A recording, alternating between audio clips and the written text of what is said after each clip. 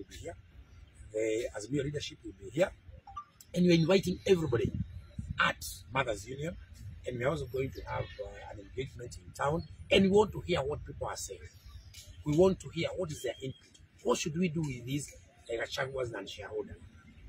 Are we going to relocate them from Kenya so that we have ships brought by United Nations and buses, and then might be we get removed from this country and might be to Tanzania or another campsite?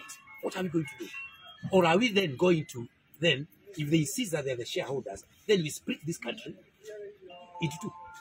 Shareholders country, that is the Kenya Kwanza Limited, and the Republic of Kenya, made up of non-shareholders. Because what they have done is that they have replaced Article 1, that we the people, the sovereign nation of Kenya, with Companies Act, whereby Kenya is supposed to be led like a company.